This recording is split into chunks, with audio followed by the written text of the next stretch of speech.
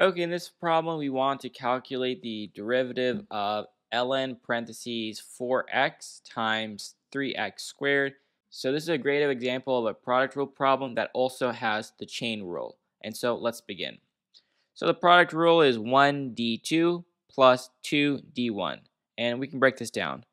So 1 meaning the first term, we get to keep it. So ln parentheses 4x, we get to keep d2, so the derivative of this piece, so we can just put d parentheses 3x squared as a placeholder, plus 2, so our second term, 3x squared, d1, derivative of the first term, so again, placeholder d, parentheses, ln, parentheses, 4x, close parentheses. And so we're going to get, so this piece will stay the same, ln parentheses 4x times the derivative of 3x squared would give us 6x because the 2 you bring it down so you get 3 times 2 which is 6 and x raised to 2 minus 1 2 minus 1 is 1 so x raised to 1 plus 3x squared times now the derivative of ln parentheses 4x involves the chain rule because the derivative of ln would give us 1 over the inside piece so 4x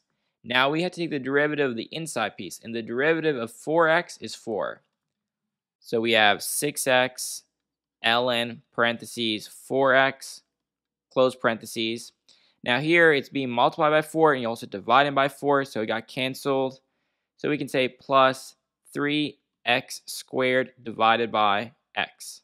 And we know x squared divided by x, this x would be canceled and you just get a regular x. And so we can get 6 x ln parentheses 4x plus 3x. And if you want to factor out a 3x, you can because this is a 6x, this is a 3x. So if you want, you can factor out a 3x.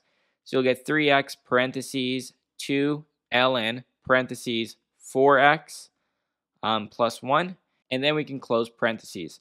And so this right here is our final answer. Now, if you want more practice, check out the description box for more videos.